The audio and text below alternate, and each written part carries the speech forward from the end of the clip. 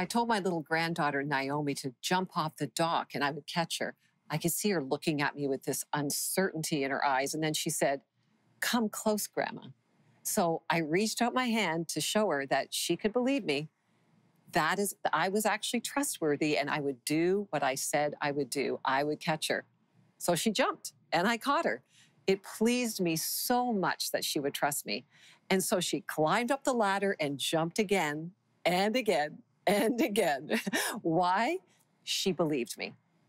There's a powerful and convicting verse in Hebrews 11, verse 6 that says, Without faith, it's impossible to please God. So stop and think about this. That's a pretty bold statement. If you want to please God, you must have faith. There's no other option. So the natural question is, what is what is faith? Well, faith is simply this, in two words, believing God. That's it. Faith is believing God is who he says he is and that he can do what he says he can do.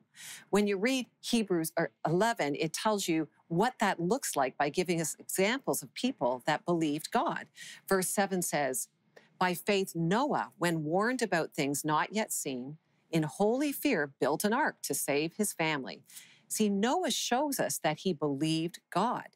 He believed God when he said that he was going to flood the earth to deal with the wickedness. He took God at his word and he did what God told him to do and he jumped up and he built a boat. That's believing God.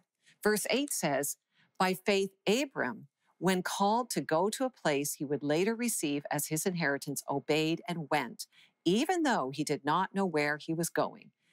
Abraham believed God. When he was told to move to another place, he didn't have all the answers as to why, but he believed God and jumped into action.